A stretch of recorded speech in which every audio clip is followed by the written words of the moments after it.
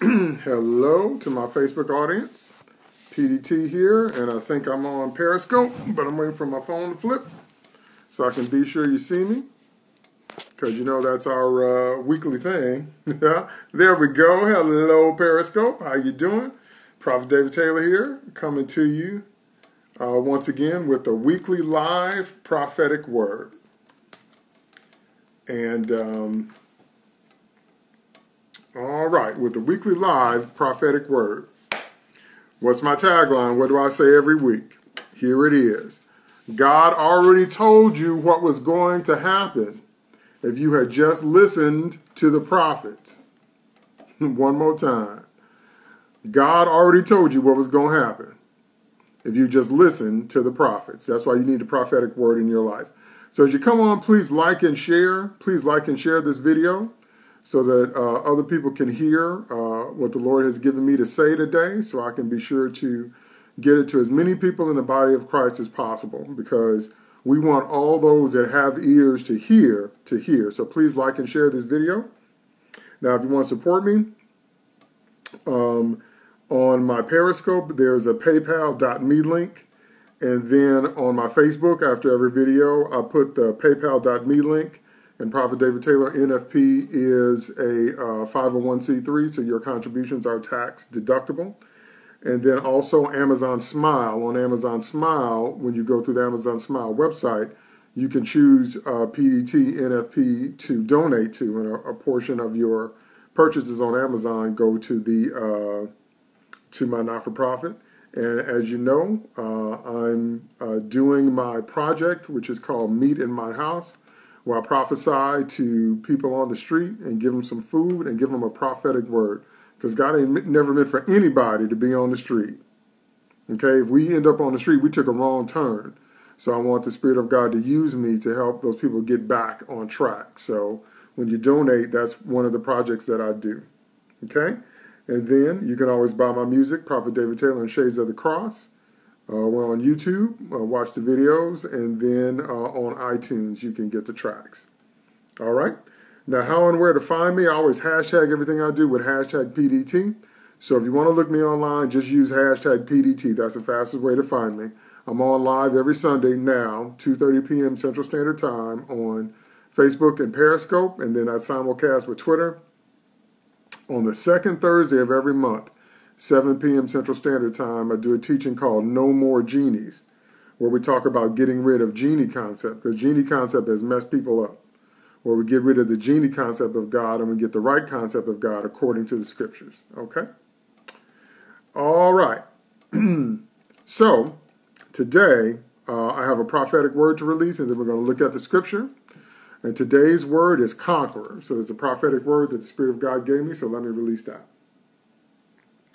For thus saith the Lord, For behold, my people, I have given you a spirit of conquering. You are conquerors. It's time for you to stop saying that there are giants in the land and start slaying the giants that are in the land. Because the devil's not just going to lay down and roll over because you showed up. But if you resist him, he will flee from you.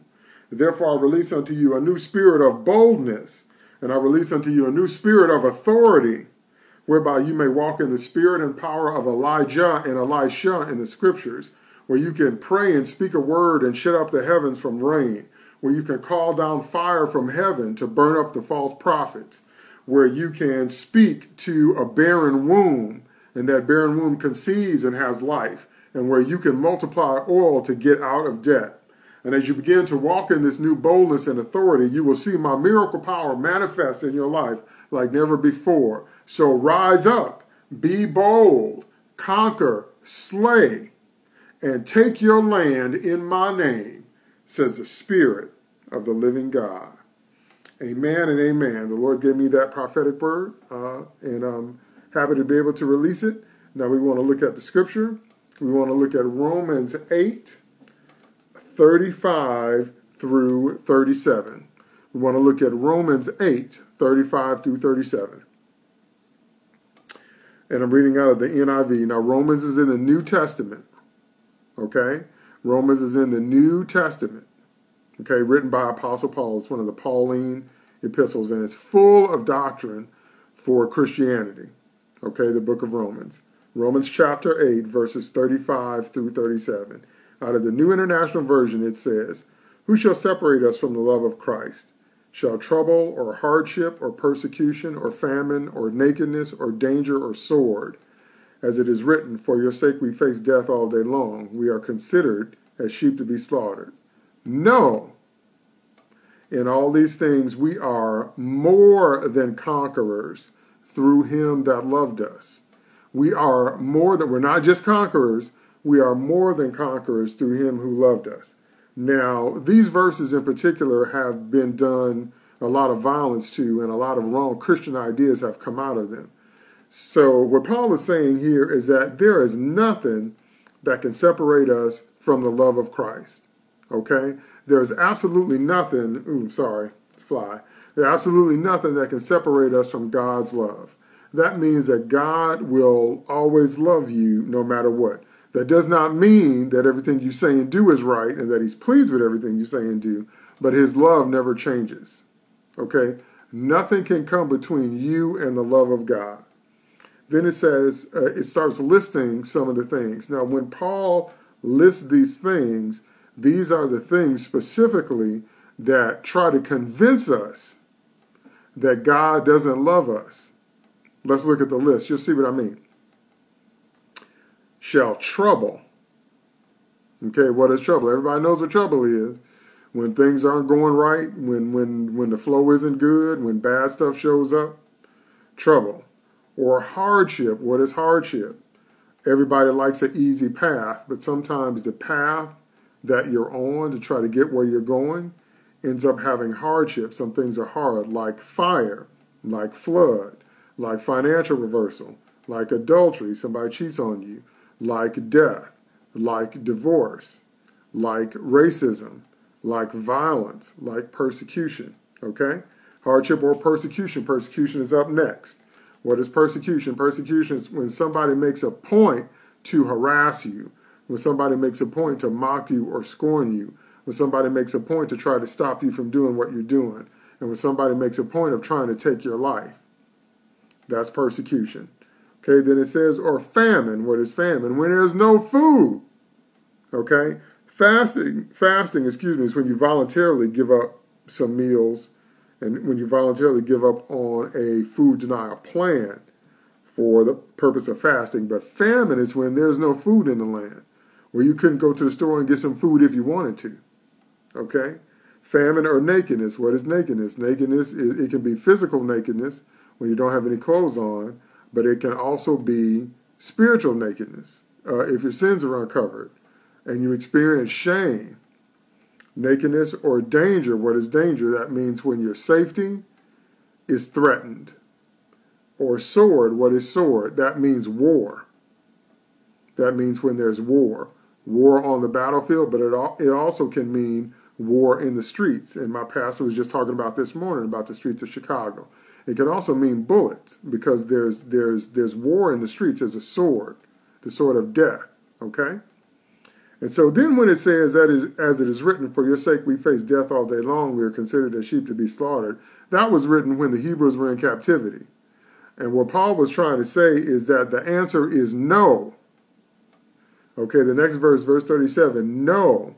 In all these things we are more than conquerors through him who loved us. So in other words, Paul gave you a list trouble, hardship, persecution, famine, nakedness, danger, or sword. Those are the kinds of things that come against you to try to convince you that God doesn't love you. Think about how you feel when you're in trouble.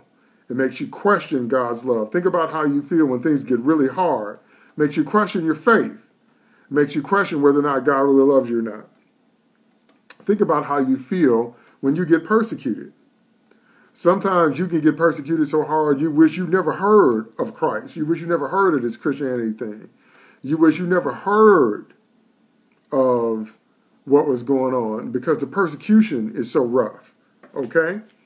Uh, what about famine? When you don't have any food.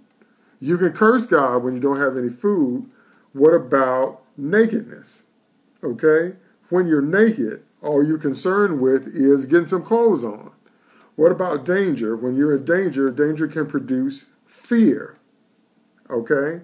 And when you when you produce fear, it's hard to walk in faith when you're afraid. Okay? It's hard to walk in faith when you're afraid when you're afraid. Okay? What about the sword? When your life's in danger. Okay? These are all the things that come at us in this world to try to convince us that God doesn't love us. And then Paul says, Are we victims? Are we victims? For your sake, we face death all, the, death all day long. We're considered as sheep to be slaughtered. Are we just victims? Are we just sheep for the devil to slaughter at, at his will? Are we just sheep for a life to take out whenever a life gets ready? And then Paul answers that question in verse 37. He says no.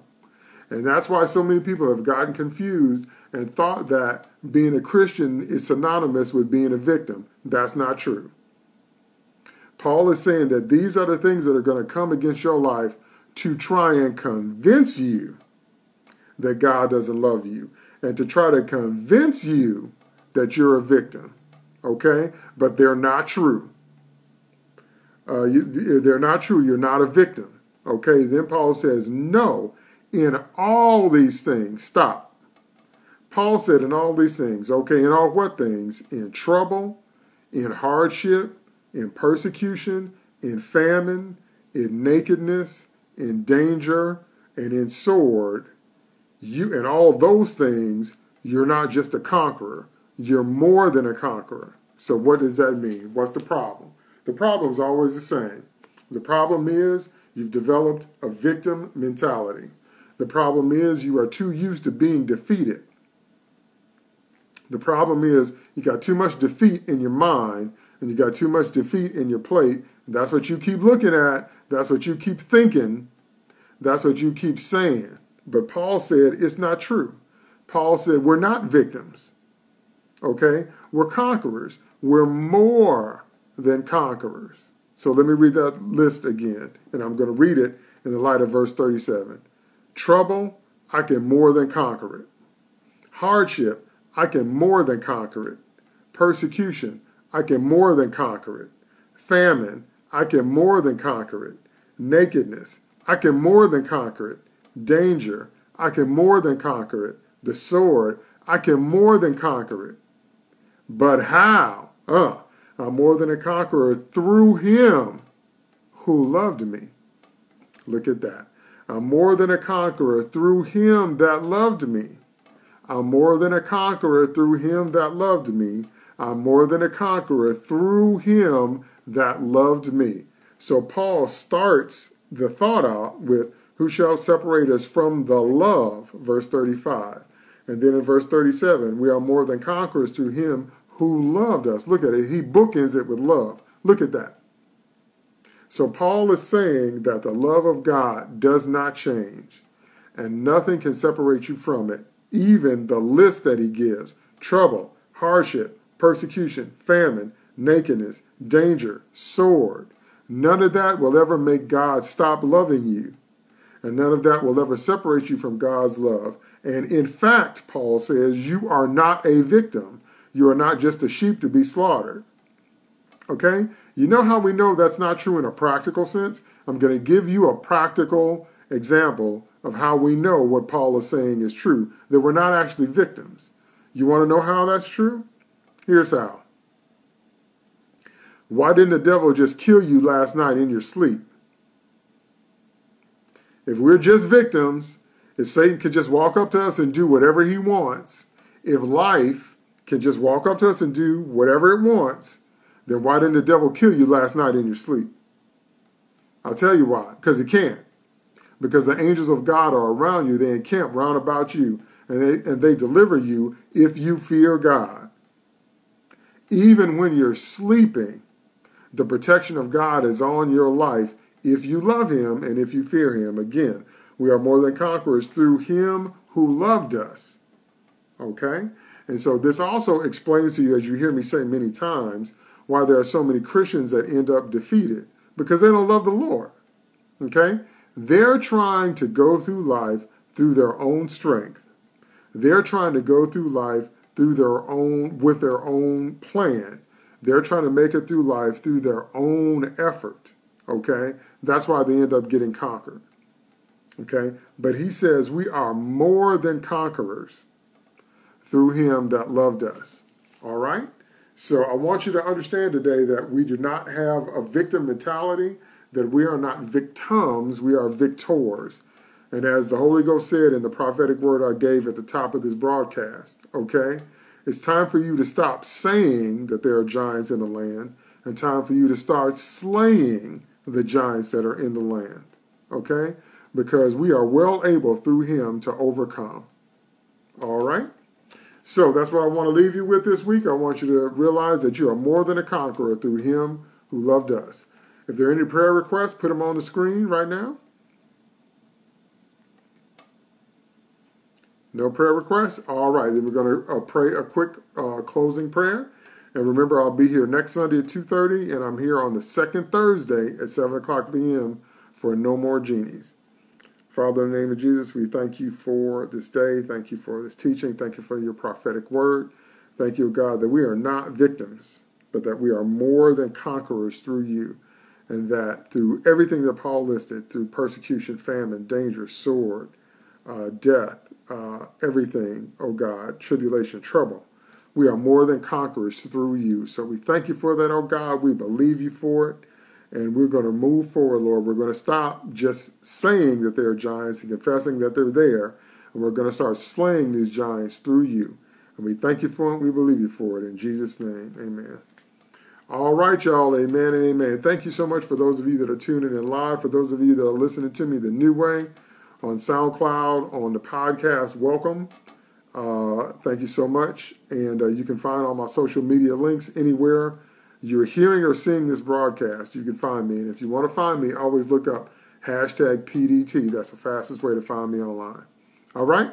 God bless you. I love you with the love of Christ. I'll see you same time next week. And we'll be here 7 o'clock p.m. on the second Thursday of September for No More Genies. So remember, go forth this week and slay your giants. God bless.